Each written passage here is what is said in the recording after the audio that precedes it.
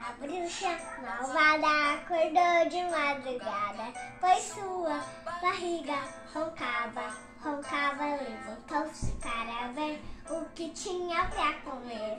Mas lá no caldeirão só caldo de feijão. Caldo de feijão? Essa não. Quero substância para encher a minha pança. Deixe-me pensar. O que mais posso aqui colocar? Livro de receitas da bruxa mestre. Tem todas as receitas que gostam as bruxas. Lá foi a malvada no livro procurar. Secar é pro predilar, pro poder preparar. Aqui está. Como engrossar caldo de feijão. Misture tudo no caldeirão. Rabo de gato, olho, orelha de cão. Cresta de galo e bico de papagaio. E uma picada de bigode de rato.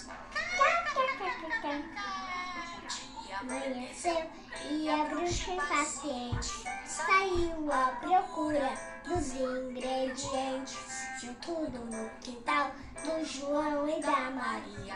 Cachorro, o gato, o galo e o papagaio. Todos neste saco e dão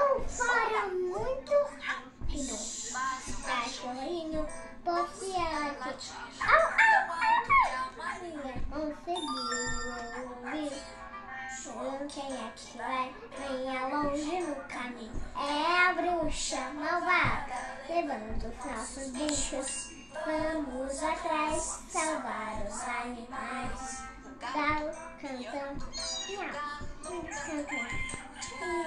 A trilha que a bruxa ia tomando Avistaram uma casa muito feia até de morro Mas que tava o papagaio Socorro, socorro Gato, as crianças bolaram pelo plano Pra distrair a bruxa e soltar as florestas Oh, dia de sorte, vou matar a minha fome Tá, tá, tá, tá, tá toque, toque, toque, toque, toque. Mas quem bate a minha porta é farinha tão forte. Se for criança, transforme em lobisomem.